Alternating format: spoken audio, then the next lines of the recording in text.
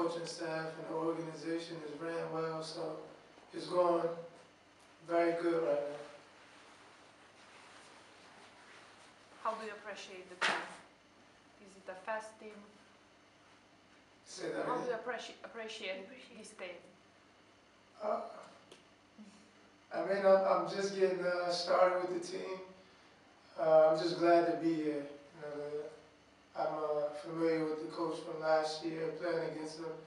I'm just trying to get adjusted as much as I can. And, uh, I think it's going to be a really good season for us. About the Romanian championship, Um, my expectations is just to win a championship. Anything less than that, you know, it's, I think it's a failure.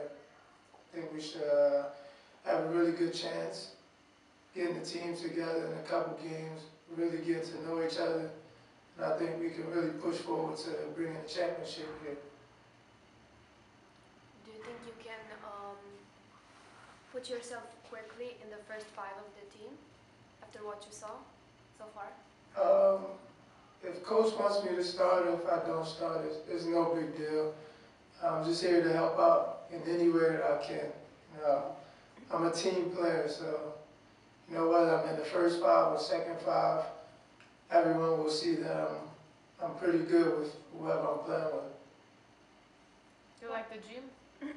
Know, Yeah. A new gym here in Cluj. Yeah, I love it. It's uh, pretty similar to the gym I was in last year in Antwerp, and uh, I'm just looking forward to see all the fans in it. Maybe do you have a message for the fans, for the supporters? just my message to the fans is just to continue to come here and support us. We'll try to win every game that we can, and you know, with their support, it'll be much easier. Have you seen uh, images maybe or pictures uh, from the games with uh, Ploiești and Sibiu, the rivals? No, I, I'm, I'm not sure which teams it was, but I checked YouTube and I seen a couple highlights, and I think it was in the older gym. It Yeah. wasn't from the newer gym, so I'm looking forward to playing here. What about your- Just an atmosphere when we win the championship. Yeah, I'm really looking forward to it.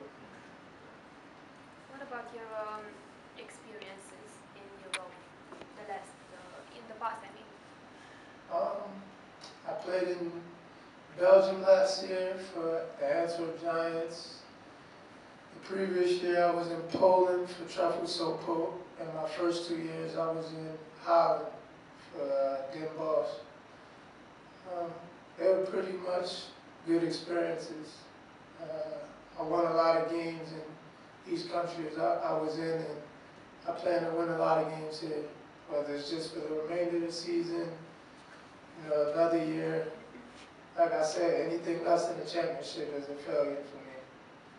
What do you expect from the Romanian championship? Do you expect for the basketball to be less physical than in the other championship play, or I don't know, more fast, or?